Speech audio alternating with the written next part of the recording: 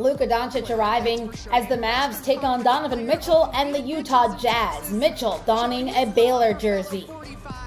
Donovan Mitchell off the screen finds Mike Conley, who scores the layup. Conley had 13 points in the quarter. Mitchell this time keeps it, stops, hits the runner. Mitchell, 16 points, 5 rebounds in the game. Off this turnover, Luka Doncic, with his eyes up, finds Tim Hardaway Jr. at the fast break dunk. Hardaway Jr. 16 points in the game. Doncic this time pulls from deep, knocks down the three ball. Dallas is up early over the Jazz. Dwight Powell passes it out to Josh Richardson, who knocks down the three.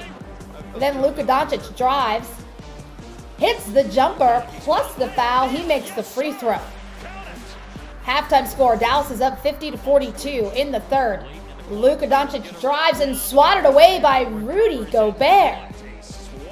Rudy Gobert with the excellent defense on the right side. Gobert 14 points, 15 rebounds, 2 blocks in the game. And then Luka gets triggered. 3 there.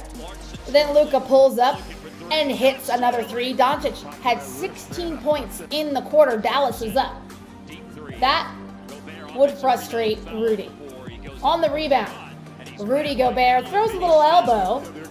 Dorian Finney Smith would receive a technical. You can see a little give and take here. Frustration boils over.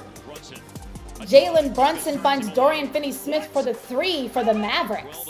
Then Luka Doncic crossover hits the three. Doncic 31 points, 9 rebounds, 8 assists in the game.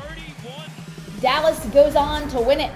Final score Jazz 103, Mavericks 111.